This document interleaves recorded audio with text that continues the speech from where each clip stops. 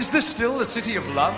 This improv story is based on the idea a man falls down hole at the story commenced. Craig was walking down the street minding his own business. Some bastard had let, um, left kind of drain thing open. Manhole, you'd maybe call it in America. Don't know what we call it here. Drain thing. Left it open. Craig fell down, but the cunt who left it open, the worky guy, council guy, was down there. So Craig fell on him. Landed on his head, broke his neck. Because, see, if you get something landing on your head, that weight and it does that, that's basically getting fucking hanged. That's like getting executed. Broke his neck, did.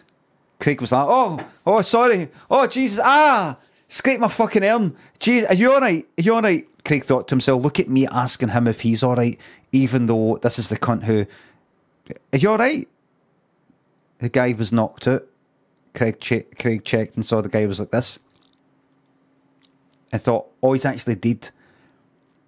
Craig then climbed out the hole and pushed in the hole and shot in the hole and then went to the guy's funeral uh, saying, Oh, it's so tragic what happened and all the rest of it. And then when the guy was getting buried, Craig said to the you know the kind of undertakers or, whoever you know does the final bury, you know they do a bit of dirt and all that, and then the family goes away. Listen, let me get this, boys. You have a wee early night, right? This job really takes it out of you. Let me do this. I knew the guy. I'll do it. It's cool shant pushed in that, spunked in it, and um, um, and then pumped in and kind of dry road the coffin, you know, sort of like acting like you're shagging it, sort of thing. Um, the end. Right now, uh, that's a true story. How know? Because that was fucking me. I was Craig.